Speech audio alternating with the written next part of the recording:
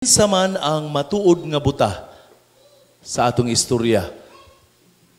Nainomdom ko, sinong dakila? Sino ang tunay? Ah, baliw mo dito, di buta. Sino ang tunay na buta? Di man buta.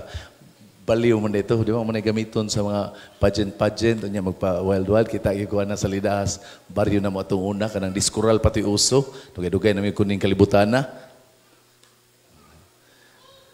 Kinsa ang matuod nga buta o bungol tingali sa atong istorya.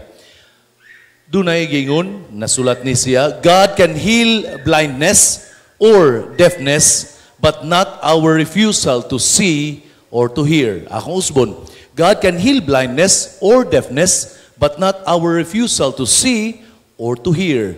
Makaayo tingali, makaalima tingali ang Ginoo sa atong pagkabuta or pagkabungol, pero dili ang atong pagdumili nga makakita o makadungog. Makaayo siya. Pero kung dili kita gusto nga makita o makadungog, dili siya makahimo niya na. Unang eksena, adunay nagsagit, nagtuaw, adunay ni sagit, it is a cry of a desperate person. It is a cry of the poor. It is a cry of somebody alienated. Nasaid man kita nga sa panahon ni Kristo, kadtong dunay mga sakit nga seryoso, gipasabot ni ana makasasala sila. That in itself was already alienation. Kay ang imong sakit tungod na sa imong dakong sala. That is the equation. Nasaid kita ni ana. And so this is somebody nagtuaw, nagsagit. And yet diha sa iyang pagkabuta, nakaila siya sa miagi Wa tingay siya nakapanimaho, nakadungog yung tingali siya nga, uy, muagi si Jesus nga taga Nazareth, ug nistuaw siya, ug ang iyang pagsagit ang pagila, nga kadtong mga tao nga nagpalibot niya, nagtuo tingali to siya, nga siya ang umaabot nga, nga hari, nga mu, mubuntog sa mga Romanhon. Pero ang iyang gisagit, Jesus kaliwat ni David. This is a unique messianic title reserved only to the Messiah. Buta siya, pero nakaila siya ni Kristo nga miagi. Unsa may reaction sa mga nagsunod ni Kristo kanang mununot ug ninunot ni Kristo. Ingana mo gina, nahinomdom ko, bata pa ko, dunay usa ka healing priest, dili katong si Father Suarez, namatay na biya ang, another healing priest. Nahinomdom ko kay Tagalog sa to siya, unya dito sa among parokya gyud. Nya mag-alirong gyud kayo. Kanang ganing kanang kanang Dios nun kaayo kay healing priest lagi ang ilang idol nga kuyog, pero inig alirong gyud makabalikas o makabadlong kanang tumigil kayo dyan. Lumayo kayo. Kanang anaon kay ka, nya Tagalog kay mga mga mga aristokrata kayo ba? Nakita ko na kay naghiling lagi niya dito duol sa kununod sa ko pero kana ganing nagpalibot niya nya mausan ni nahitabo. Gipahilom nila si Bartimeus ang tao nga nagsagit. Paghilom dia kasaba nimo, nagsamok-samok ra ka. Sama hinumdo mo, sama sa mga apostoles nga ang mga bata gipahawa, gibadlong kay gisabaan kay ang ilang hunahuna protektaan nato ni siya. Protektaan to ning VIP. Murag hinumdo kay nga na ba VIP guni. Ay mo sabada, di ba? this is a very unique, uh, this is a very common scene nga kanang muepal ba. And yet, the difference is that ang Jesus, ang reaction ni Jesus, sila nga nagpahilom, sila nga dili VIP, ang VIP noon ingon, paari siya. Notice the great difference, the stark difference. Gipaadto, gipangutana, o gipaminaw, unsay buot mo nga buhaton ko kanimo. This is important. Kay there's a great life lesson here. Diha sa simbahan, often in the church, we have these very common attitudes or sickness of those who serve or those who surround the parish priest, the bishop, nga ayaw lang ay di, di gani hapit palamukan. Nya ipalayo niya, hugaw hugaw na ipalayo. Kana ganing murag pero wata kay ba wa mo kay ba nga okay ra unta na ako ngano magyud ning protektaan magyud ta pag-ayo ani ngano ngano mang ngano mang murag di na man gyud hapit palamukan. Ingana nakakita ko ni ana nga ari ari lingkod di padri kay para kuan di ba kanang di kanang huy maunsa pa lang ka kanang inig iniglakaw na to kayo. Uy, padre niya kanang naglakaw ra intawon ka. Kanang yan na ganing ako na mura maunsa di ba, bakit parang kasalanan ko pa? Kanang yan mga style ba? Inga kabantay mo niya nang kinaya ha. Protective ra kaayo mo. Ayaw lang kay palabi eh.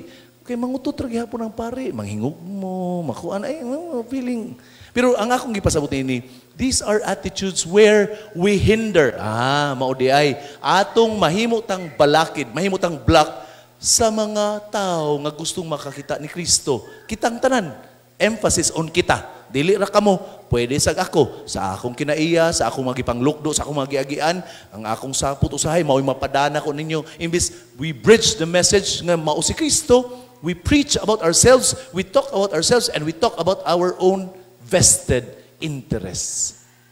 Bato-bato sa langit, ang maigo moagay. Maugo tingali kani ang kinaiya nga atang angay natong pugnan that we screen people from seeing Jesus or people in the church or leaders who block seeing Christ because we are more mas santo papa patas santo papa mas rigorous patas sa balaod sa simbahan mas kanon lawyer patas kanon lawyer sa simbahan. Nga naman kay dili ta gusto nga madaot ma, ma, ma, ma, matatsahan ug uban pa. Diha sa atong kinaiya dai kita makabalda makatabon sa Ginoo ang atong pagkaarugante, ang atong self-centeredness, self-righteousness, ang atong vindictiveness, ang atong hatred in our hearts. Or kanang feeling nato, labi nagdangalaga ta simbahan, feeling nato authority ta, kay extension ta sa parish priest. Nahinumdum ko ni ini sa uh, akong parokya, bahalag nagtanaw sila, naagi na ingana, piyestang dako, Pasakon ang mga VIP niya. Uy, iwa mo ilabot ya. Ay, iwa mo ilabot. Ang katurang kuan. Ya, si mama in town, tuwa dito naglinya. Ni pauli intang luhaan. Kay wa sa siya kakaon. Nagtimbar sa mama ni Anas mama nga. Nil putol man to ganyan buntay ko. Karong alas siya. Oh, basig di na ron putol. O naa siya. Hinumdum to siya. Ni uli sa balay luhaan. Siya makahiubos kayo si. Hindi na lang ako isultingan. Kay giabog man. Shh, iwa mo ilabot lawot pa mo diha kay diri ra. Ang VIP ra. Di ba? Sakit kayo, di ba? Mao bitaw ng atong gusto nga ang simbahan mao kini ang dagway sa simbahan. Walay gipili. Mabati ka magnaong or magwapo. Yan ba, di ba? Wa man gipili. Balik ko na ko, mabati ka magnaong. Oh, di, di, di, di, di. Di, di ba? Walay gipili ang simbahan nga kani dinhi para dato rani, kani dinhi para kuan rani, kani dinhi dapita mga bati-batig naong diha, diri dapita mga gwapo ra wa nga nang simbahan. Unya kita lagi muhimo ni ana. Ang mupakgang ra nato si Kristo ra Dali. Gipaminaw niya. Naka ako nakitaan sa Facebook nga akong i-share. The first duty of love is to listen. Ah, di ba? Sa inyong kacharchar. Hunaw na ako na inyong kacharchar dia. Ako, ang mga kasuway ni anak, mga anang butanga. Allergic kita ng mga butanga. Bitaw. Mm, eh. Uh, Joanna, asa naman tong kacharchar? Na mo, simba? Bitaw. Asa to, isang kamot na pa din iwa na. Kataw. sorry, sorry, sorry, sorry. Balik ta, balik ta, balik ta. This is what Jesus does to us. He teaches us the hard lesson about ourselves. Nga usahay, balik, basig, balik arugante na nagyog kayo tingin ta, o balik pahiriha tas tao nga, shh, hilom diha. And yet Jesus would do otherwise. Mangutan ako, kinsa man ang matuod nga buta sa istorya. Ayog to baga. Again, God can heal blindness or deafness, but not our refusal to see or to hear. Ikaduhang eksena. Gisalibay ni Bartimeus ang iyang kupo. Sa pagbuhat niya ni ini, niingon siya ug nagpakita siya sa iyang gusto nga mahitabo, nga gusto niyang maayo siya. Importante ni, kay ang kupo symbolized his hideousness. Nagtago siya. Nga naman, kay lagi, buta ko na ako'y dakong sala. Ing ana man ang statement nga gingon. Maura sa na, sa mental health nato karon nga dili ko takos kay nakasa ko, nasipyat ko, nahisukamod ko. We close ourselves. We hide away from people's view. That is the cloak. And yet, when Jesus called him, sa dihang gitawag siya ni Kristo, gilabay niya ang kupo. Di ako, bahala na ko sa insulti, pero muadto ko niya, kay kahibaw ko siya ang muayon ako life lesson that we can draw. The invitation, like Bartimaeus, we are invited to do away with our own vested interests, self centeredness, blindness, hatred, biases, self righteousness, and to approach Jesus humbly. I am a sinner, and yet I'd like to be healed. Ikatulong eksena, the encounter and the exchange between Bartimaeus and Jesus, ang ilang panagtagbo. Si Jesus nakabati sa iyang pagtuaw ug gipangutana niya ug giingnan niya ang madisipulos paariya siya. And he asks Bartimaeus, unsa man ang imong buot nga buhaton ko kanimo? Unsay ipabuhat mo kanako? Mitubag uh, si ang buta, magtutudlo, gusto unta ako nga makakita pag-usab. This is the Visayan translation. Ang English nga translation niini from Hebrew or Greek, walay pag-usab. Lord, I want to see. This is the invitation that we all are drawn today. Giaghat kita sa Ginoo, gipahinumduman kita sa Ginoo nga kita diha sa atong mga giagian, diha sa atong mga relasyon, diha sa atong mga kahingawa, mangutana kanunay ang Ginoo. Naa man gitingali tay mga panahon nga maghinuktok ta, di ba? Maghinuktok ta kay wa na magiguy kwarta, eh, maghinuktok ta ni ana, di ba? O maghinuktok ta kay nganong gibuwagan man tunako siya nga kuan mo, eh, di ba? Or maghinuktok ta kay unsa man ning akong kinabuhi ron, unsa may padulngan niini. Basi diha sa itong mapag-ampo, si Kristo usab nag-ingon kanato, unsa may ipabuhat mo kanako. Basig nabutaan ra ta og nabungol ta na bali nabuto nabuta ta og nabungol kita. Heal me, Master. I want to see is a prayer that we all can pray. Kita, why pilion? Kamo ug ako. Ginoo, gusto kong maayo. Ginoo, gusto kong maayo nining COVID-19. Ginoo, gusto kong nga maayo ang kalibutan, ang dagway sa kalibutan sa COVID-19. Heal my blindness and deafness because all I see is me, myself, and I. Mangutan na tapag-usab. Kinsa man ang matuod nga buta o bungol. God can heal blindness or deafness, but not our refusal to see or to hear. In conclusion, doon na gihapon tayo paglaom. Sa taliwala sa atong pagkabuta o pagkabungol, may din nga, ha? Buta day ko, bungol day ko. Akala mo lang hindi, pero oo, oo, oo, aw. Di ba? Akala mo lang wala, pero meron. Eh, mamo na, no? Meron, meron, meron. Basig nagtuo kang di ka buta. Unsa man ang klase sa buta nga naa kita. Buta kita usahay sa mga ordinaryong mga panghitabo sa atong kinabuhi. Kay gusto ta sa mga ngilngig nga mga butang. Buta kita nga makaamgo, mapasalamat, nga makamata ta ikabuntag in taon. Nga wa ta mo tiurok pagkagabi eh. Ug di ganita makapasalamat. Kaya ang una natong gunitan kung ni chat ba siya. O, di ba? Kanindot ni ana. Oh, di gani ka panguros, pero makagunit sa cellphone. Di gay ka panguros ikaon, nga makapasalamat sa pagkaon, mo picture usa sa pagkaon. Mo picture man sa ko, pero mga di sa tadaan. Ingana man di ba? Ingana sa pagkaon. Unsa pa may laing mga pagkabuta nga naa kita or pagkabungol. Tingali sa atong giagian nga kalisdanan sa kinabuhi, sa panglawas, sa relasyon, sa patigayon, usahay atong makita nga gidimalas mangyud ko. Instead of saying gidimalas ko, unsa may gitudlo sa Ginoo ni nako. That will require a different eye. That will require a different perspective. The eyes of faith nga maoy gihatag sa atong Ginoo kang Bartimeo. Gitagaan siya physical nga kayuhan, pero gitagaan siya mas lawom nga pagtuo. Kay nga naman, kining perikope nga atong nabati karon is the last perikope usa mosulod si Kristo sa Jerusalem. Unsa may kahulugan sa pagsulod ni Kristo sa Jerusalem? Mosulod siya sa iyang pag-antos, sa iyang paglansang sa krus ug pagkamatay. This is the last disciple na sa iyang pagsulod mismo siya nakaamgo. Umisulod siya kaniya. Dili ta mawad ano paglaom. Kay diya sa atong unang pagbasa, nakaila kita sa usa ka amahan. Ningon siya, ako, sama ako sa usa ka alang sa Israel, ug ang kamagulangan kong anak mao si Ephraim. Unsa may gisulti dai dinhi? Ang Israel nagkatibulaag, na discourage, nasakitan. Pero niingon siya, tapukon ko kamo sa inyong pagkawatak-watak. Dalhon ko kamo ngadto sa sipsibanan, sa im tubig, ang katong mga mabdos, ang katong mga nawad-an sa paglaom, tapukon ko kamo kay kamo akong mga anak.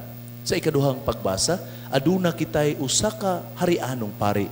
This is actually the continuation of the reading that we have sa miaging Domingo. Unsa may giingon nga ang atong pari lahi sa uban sang lithuyang man siya sama kanato maluoy siya sa mga walay hibang kaagan ug mga masalaypon. This is our consolation nga ang Dios usa ka Dios nga nagpakatao na makasabot siya sa atong giagian, makasabot siya sa atong pagkahikati hitakilpo, makasabot siya sa atong pagkamasalaypon. Ang linya nga akong gibalik-balik, God can heal blindness or deafness but not our refusal to see or hear is actually aligned by my professor and friend Father Mon Ichika some three years ago dito sa tunga-tunga ni atong daghan kayong mga pagtukhang dito sa tunga-tunga ni atong nalutsan ta og pila ka milyon nga shabu unya nahanaw lag kalit. Mao ni ang konteksto niini nga magpabuta-buta gyud ta labi naglambi kita or magpabungol-bungol gyud ta kung ang ato ng kaugalingon hulgaon ta. Again, God can heal blindness but not a refusal to see or hear. In short, lisod kaayo pakiton ang mga nagpa-blind-blind. Lisod kaayo padunggon ang mga nagpa-deaf-deaf, ah, pabungol-bungol ba? O lisod kaayo pukawon ang mga nagpatulog-tulog. Lahi sa nang magpabungol-bungol aron ingnong gwapa. Di ba? Lahi man na siya. And yet, hapit na ra ba ang eleksyon? Og nikatap og nagpakatap na ang daghang bakak. Tarong nga naglurat ang imong mata. Kay basig nadara ka og naagni sa imong pagkabuta tungod kay nakakita ra ka sa kakulor ug di na ka moabli sa lain pa tungod kay ang imong gituuhan Ginoo na gyud na. Tan-awa og tarong. This goes for anybody. Tan-awa og himaya og tarong. Kay basing nibutar lang ta kay gusto na kong kontrahon gyud ang dilawan or gusto gyud na kong kontrahon ang mga taga Duterte. Basig mubutar lang ta ni ana tanawa og himaya og tarong kay basig nangabuta ta sa atong kasuko nangabuta ta sa atong ingani tingali ang angay nato nga discourse bastos naman kayo ang discourse sa Facebook insultuhay pa pinakabugo o guban pa basig na ay invitasyon nato nga sige ipaglaban ang imong punto pero sa paagi nga disente paghihapon ka nga di mawa ang imong pagkadisenting tao. Pero musugod na gani kag pamalikas ug naa kay kalagot ay nalagi post sa Facebook. I-messenger na las imong mga gustong istoryahan kay inig post nimo sa Facebook nga kani siya portigyud ni siyang buugua ana nya kani siya ipatay ni siya musugod na gani kag posting ana ikaw ang bati. Wa gyud na kailan nimo kandidato. Ikaw mo'y buta. Ikaw mo'y bungol sa mga panghitabo og sitwasyon diin miabi ba kita og walay gisulti o gibuhat sa mga inhustisya sa mga bakak? Kini mao ang atong angay nga hunaw-naon. Dunay awit si Ruth Vergara nga buta. Di ko kay baw kay sa tuno niini pero nindot kay ang lyrics nga nagkanayon pagkadaghan sa nahigmata. Oh, sa ito na ni? Pagkadaghan sa nahigmata. Kadamo mo na kadamo mo ana Oh, di na nakukantahon. Ako nalang basahon. Nga nangandoy, mangandoy pang matulog, kay mas tamis pang magdamgo sa mga dili tinuod, ang saksi sa kamatuuran, mupiyong lang kasagaran, ug magantos lang nga pasipadan ang gugma o kaangayan. Nya, ang chorus ni ini, Buta kita sa pagpakabana, buta kita sa luha. Paborito ko ni Jibil ug way pulos ang ang hayag sa atong mga mata kung sa kasing-kasing magpabilin tang buta. Kung ikaw ang makasaksi sa mga pag-anto sa uban, ganong dili ka musulti kung unsay imong nakita.